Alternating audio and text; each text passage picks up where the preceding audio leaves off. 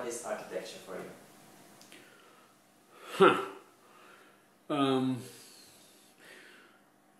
it's one of those questions that um, we make a living and we work about all this all the time, and um, in a strange way, I don't think we stop too much to think about that. What is it? Um, a while ago, a good friend of mine in Argentina, another architect, very colorful guy, um, was talking about some other colleague, and honestly, by now I don't remember if this was what he said, but my interpretation of it was that architecture is a genius solutions, genius solutions to non-existing problems.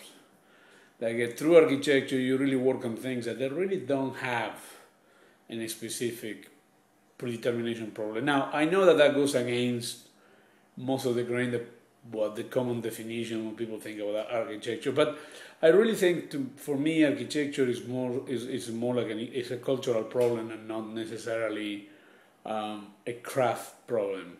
But in any case, I will say that the closest thing I can say what architecture is, architecture, in my view, is the material expression of very abstract and conceptual desires and concepts.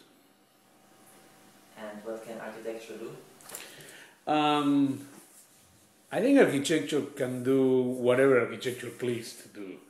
Um, I don't know.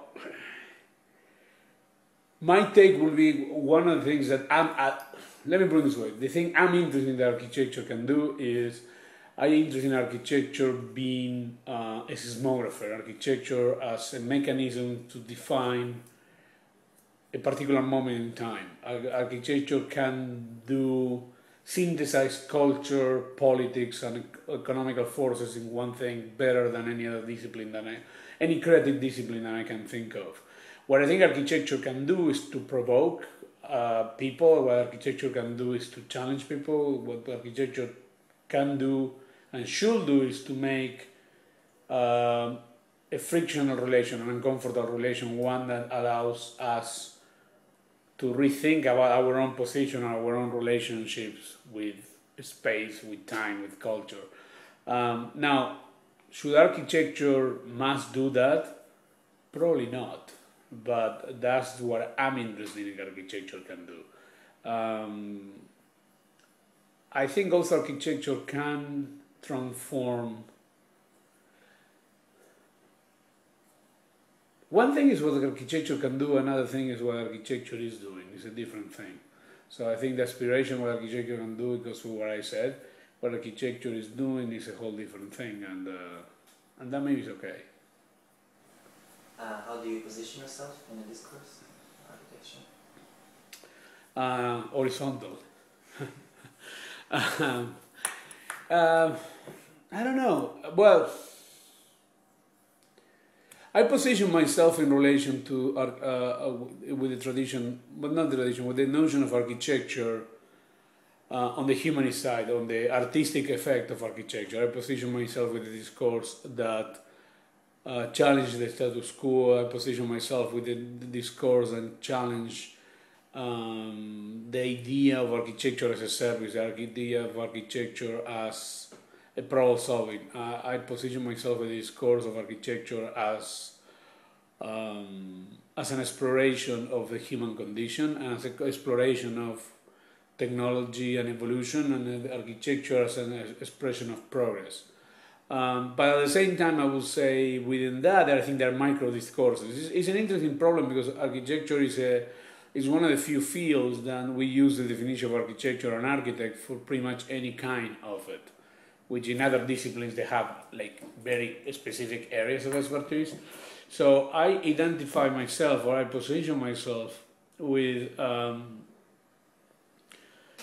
with the notion what I would call uh, an speculative architecture, a, spe- a, speculative way of practicing architecture to speculate other territories. Or, uh, but I would say, to put it very simple, I, I position myself with the notion of fringe architecture. And uh, what is your preferred design method? Uh, uh, my preferred design method. Um, to do that, first I will have to accept that I have a method. And I like to think that I, I am very, I'm very, uh, very childish when it comes to those things. I like to be like a child playing in the sense of, uh, I think I like to work with multiple methods. So, but if I would say my my preferred medium is right these days it has to do with computers and how we can work with that. And I'm interested in a completely um, immersive, radical relation with the computer in the sense of I like to work there. I don't like to sketch. I don't like to work with my hands.